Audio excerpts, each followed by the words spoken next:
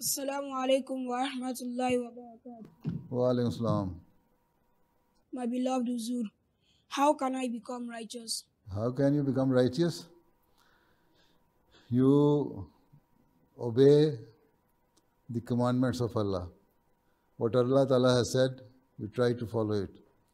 And there are so many commandments given to us in the Holy Quran. And there are some basic things. Allah Ta'ala says if you do it, you will become righteous. That you, when you pray five daily prayers, and if possible in congregation, and pray it very fervently, without deviating your concentration mm, from here to here and there, anywhere else. Concentrate solely on whatever you are saying. Eh? Then read the Holy Quran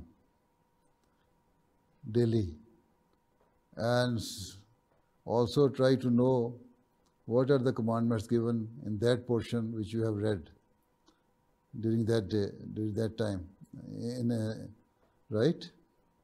Or in that day, right? And try to be behave well, morally good, right? Try to tell good things to other people. Concentrate on your on your studies because study is also something which is uh, an obligation your obligation and a righteous person should always try to fulfill his obligations right so that after having completed your studies you can be a good asset for the jamaat and the nation right so all these things make you righteous. When you start doing all these things, then as the time goes on, when you grow, grow up, then all these things will uh, be present in you. Then you will behave well.